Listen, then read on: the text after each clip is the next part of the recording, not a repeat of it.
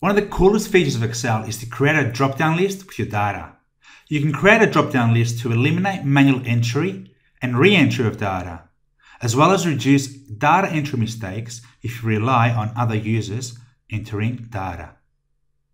Now, data validation lists can also be used on a template where external users can choose from the drop-down list to enter their choices. Let's have a look of how easy it is to implement this data validation list.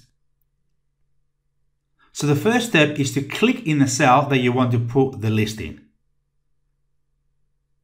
Then in the ribbon, go to Data, Data Validation, and from the drop-down box, choose List. Now in the source dialog box, you got to click and select the list that you want to include. Now press OK and bang, your list is created.